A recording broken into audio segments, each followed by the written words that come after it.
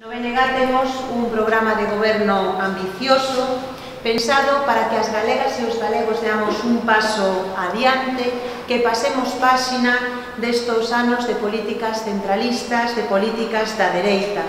Temos, polo tanto, un auténtico programa de goberno porque o bloque non se conforma con derrotar a Feijó 25 de setembro. Queremos abrir un tempo novo e construir unha Galiza mellor na que poder vivir e traballar con dignidade. Por iso presentamos un programa que confía en Galiza, que aposta por un autogoberno real para tomar o control do 100% dos nosos recursos e utilizalos para xerar emprego, blindar os servizos públicos e os servizos sociais Con claridade apostamos por un autogoberno real para transformar o país en tutelas nin sucursalismo, non basta con xestionar o desastre nin con parches ou cambios cosméticos, hai que rachar coa dependencia de Madrid e mudar un marco político que é incapaz de garantir emprego, benestar e igualdade.